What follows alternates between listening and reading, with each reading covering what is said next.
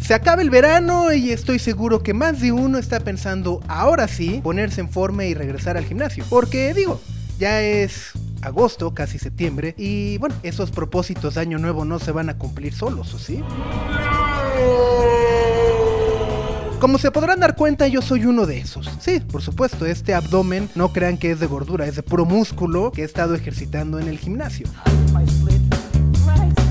Lo cual me ha permitido darme cuenta de lo ridículos que podemos llegar a ser cuando hacemos ejercicio. Y es que no importa en qué gimnasio vayas, siempre hay personas que hacen cosas demasiado extrañas.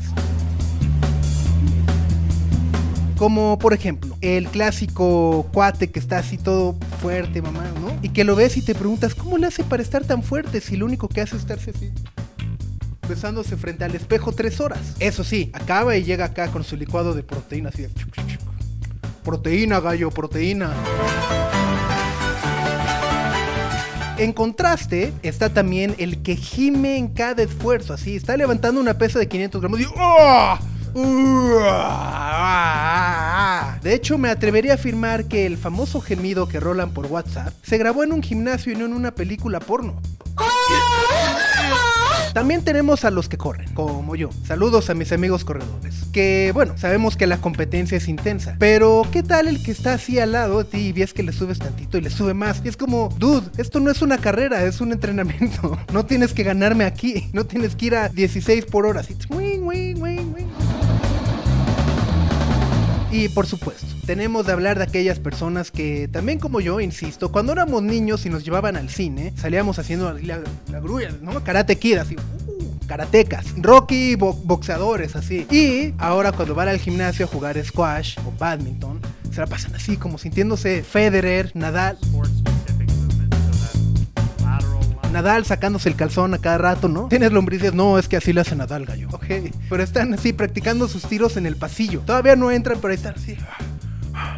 Y practican también su tiro que justo antes de entrar, ah, calambre, adiós entrenamiento. Señores, también están los que se la viven haciendo un ritual antes de cada aparato. Sí, sin lugar a dudas, calentar es de sanos y es lo más recomendable antes de hacer cualquier tipo de ejercicio. Pero hay unos que lo llevan al máximo y se la pasan así. 10 minutos y así, oye, perdón, ¿lo vas a usar? ¿Puedo? ¿3 minutos? Sí, en lo que calientas. No, no, es que lo voy a usar, lo voy a usar. Y por alguna razón además calientan tanto que siempre se la pasan lesionados de la espalda, ¿no? Siempre es así de, ¿cómo? ¿Cómo? ¿Calientas para no lesionarte y siempre te la pasas lastimado?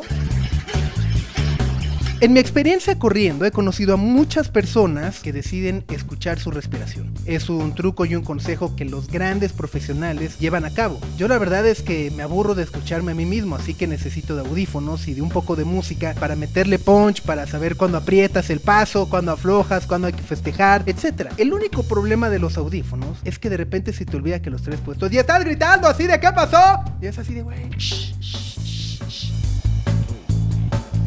Y por supuesto, sabemos que en un gimnasio hay olores. Sí, hay 100 personas haciendo ejercicio al mismo tiempo. Pero, ¿qué tal el que no se ha bañado como en 3 días y llega? Y no le importa si huele macizo, ¿no? O sea, tiene así como 3 metros alrededor, así de... ¡No! ¡Piedad! Ops, es mi olor, ¿no? Hay que oler a hombre. Las feromonas es el sudor, ¿eh? Viene a hacer ejercicio, no a ligar. Y una vez que acabas el ejercicio, ¡pum! Pasas a los vestidores. Ahí es otra jungla completamente distinta, en donde están los clásicos cuates que no les importa pasearse encuerados por todos lados. Vas así entrando 6 de la mañana, así de... ¡Ay, es... ¡Wow! De verdad, no es lo primero que uno quiere ver a las 6 de la mañana, ni a las 7, ni a las 8, ni a las 10, ni a ninguna hora. Está bien que no tengan pudor, pero vamos, no es información que uno quiera tener. ¿Y qué me dicen de aquellos que no solamente no conformes con pasearse encuadrados por todos lados, deciden que la secadora para el pelo no es para secarse el pelo, sino para secarse, soplarse allá bajito y... Entonces vas así de...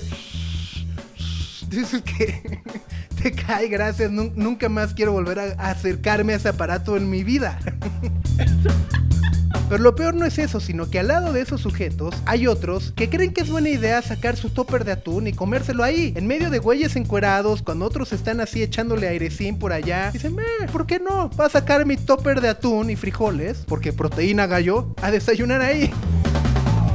Y ya que estamos hablando de comida, por supuesto, no podemos olvidarnos de los gimnasios que tienen cafetería en donde por alguna razón venden todo lo que está prohibido en la dieta. Es lo más antideportivo del mundo. Vas dos horas, así sudas, haces ejercicio, corres y demás y sales y un helado de vainilla, joven. No, tenemos promoción de pizza hoy, ¿eh? Dos por uno. Y así, que si son de los que van a retomar sus actividades físicas en las próximas semanas, cuidado, hay reglas no escritas que de verdad valen mucho la pena tener presentes en todo momento. Si van a utilizar o acaban de utilizar un aparato, pásenle ahí una limpiadita con la toallita, ¿no? Digo, no a todos nos gusta mojarnos con su sudor. Si son de los que se la pasan encuadrados, pues, tantito. Chido por ustedes, pero nuestros ojos, ¿qué culpa tienen? Y por último, gimnasios, también esperamos que corrijan sus manuales, pues estoy seguro que una actualización nos ahorraría muchas penas en el futuro. Muchas gracias por haber visto este video. Recuerden compartir sus comentarios, tips y cosas que les hayan pasado en un gimnasio acá abajo. Y por supuesto, también suscribirse a Sopitas TV.